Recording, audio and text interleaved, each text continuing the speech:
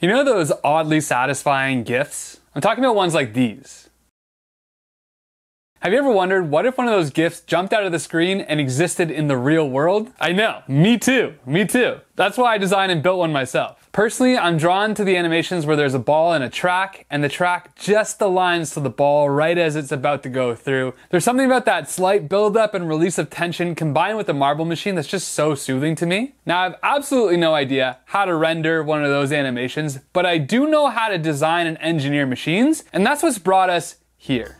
Hi, Industrial Designer Jay here, and I have this grand vision to create a looping ball track but the center of the track is gonna be moving up and down. So as the ball comes around, it's about to go across the track and you'll be like, whoa, is it gonna make it? And the moving track is gonna come up to meet it, giving it safe passage across. Then it's gonna drop down, and you'll be like, whoa, what about the bottom track? And then the moving track is gonna drop down and the ball is gonna keep going, looping forever, mesmerizing your faces off. How is it all gonna work? I have no idea. That is Engineer Jay's problem. I do know this, it's gonna look amazing with some acrylic tracks and stainless steel posts. Engineer Jay is gonna come in and just, uh, he'll do his thing and figure out the rest. Okay, bye!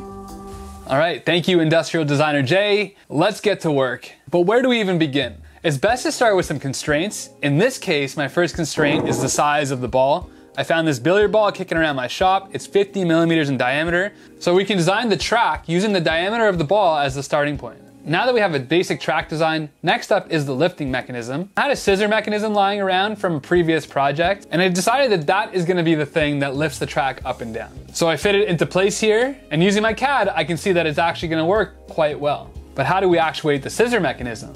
For that, I decided to use a cam, which will press against the lower arm of the scissor mechanism. And then using a gear train, I can tie that to the motor and in the opposite direction to a sprocket that will then be connected via a chain to the lifting arm. And this will ensure that the timing of the ball leaving the lifting arm will sync with the lifting and dropping of the scissor mechanism. But is any of this actually gonna work in real life? The only way to find out is to just go build the thing. So let's go do that. But before we do, I need to talk about this video sponsor, which is Skillshare. Learning is an incredibly important part of my process. I started as just an engineer with absolutely no idea how to make a YouTube video, and through the power of online learning, I have seriously upped my game. Seriously, check out my first video and you'll know what I'm talking about. Growing my skills like video editing and storytelling have really allowed me to better share my process with you, and in turn, this has allowed me to turn the creation of kinetic sculptures and YouTube videos into a career, which is incredible. But of course, I still have so much to learn, which is why I'm really excited about Skillshare. I'm especially excited about this class on the art of filmmaking by Dan Mace, so I can make even better videos that I can share with you.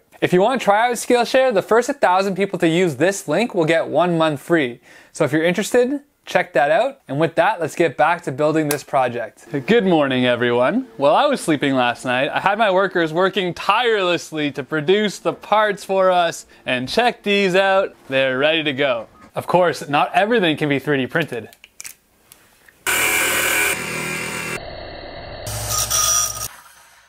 All the parts are ready, so let's do it.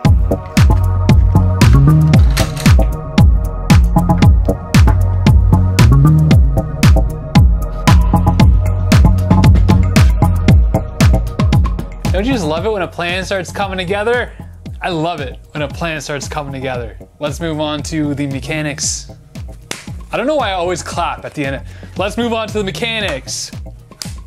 Why do I always clap? I don't know.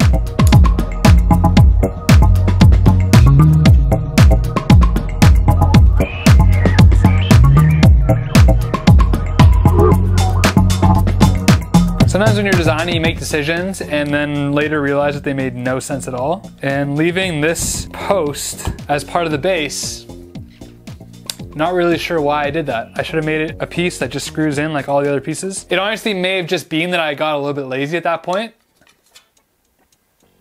Nah.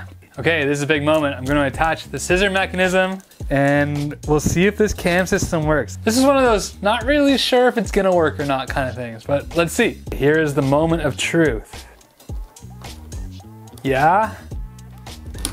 Oh, yeah! The cam scissor mechanism is working. Doing the scissor mechanism, yeah, yeah. You know what, just cuz, let's keep going. I was a little bit concerned about the track segments being a little bit wobbly, but they seem to be okay actually. Couple more screws, boom. So the preliminary build is done and it's not exactly working. So now begins the process of systematically figuring out which parts are not working and replacing them and then trying again. Yeah, I didn't really think it was gonna work on the first try and it's probably not gonna work on the second try either. But we gotta keep going until it works because it could be really cool if it does.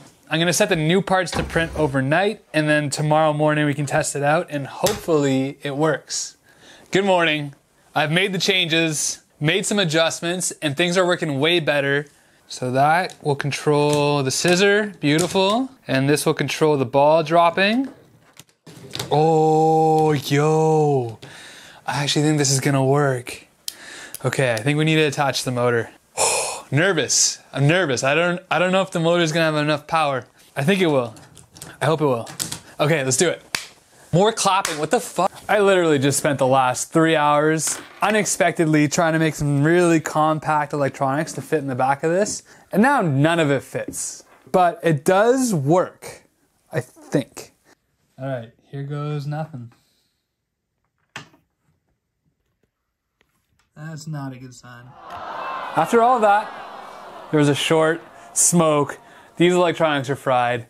We're back to the old reliable here, and we're gonna figure that out later. One more iteration, I think we're there. Actually, actually. Let's do it.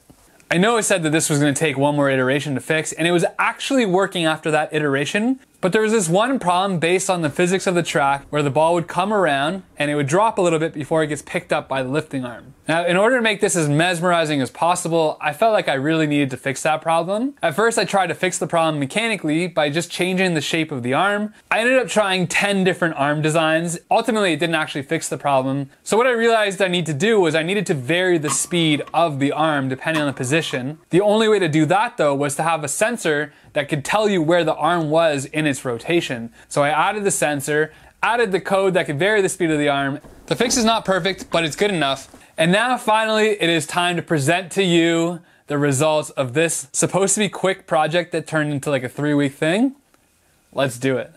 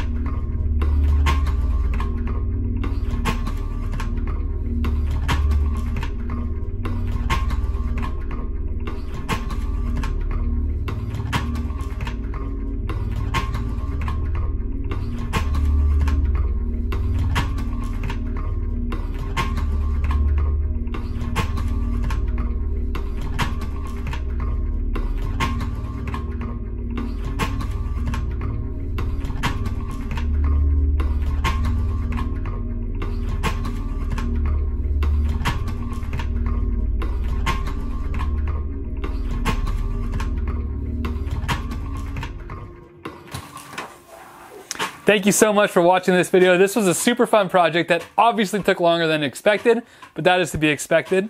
As always, tons of projects in the works. So on that note, I'm gonna get back to work and I'll see you in the next one.